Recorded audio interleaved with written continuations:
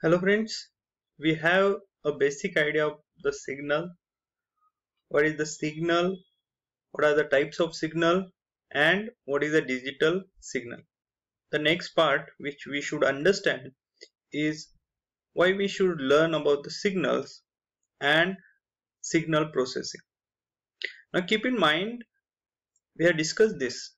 The signal will contain an information. We need to extract that information each and every signal holds the information.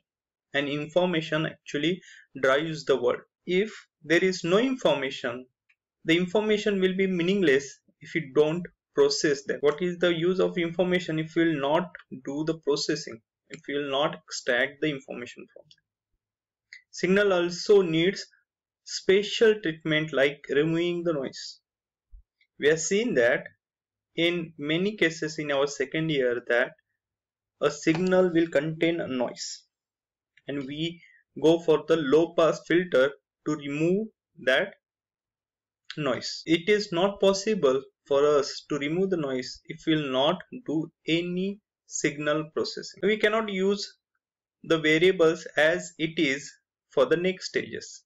There has to be some mathematical operation should be carried out on a signal so that that signal can be used for next stages. Very famous example of the use of signal processing is Internet of Thing or IoT and how the big data is using the data generated through these various sensors. Each and everything in IoT and big data is driven by the information generated and this information generated can be from the sensors which we have installed at various places. The signal which we get from that sensors, we process them and we get a pure digital data. This data is processed and the information is extracted from that. This is why we should know about the signals and signal processing. Let us take one more example, the ECG. We know the ECG looks like this. But from the sensors, we do not get a smooth graph like this. In fact, we get a graph like this.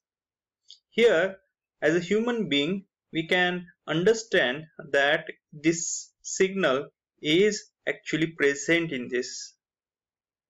Whereas there is no baseline to this signal. The signal is up and down. So what we do is that first we perform the baseline correction and all the signal is brought down to one single baseline like this. In this figure you can see that all the signal is brought to one baseline. Now still there is a noise present here.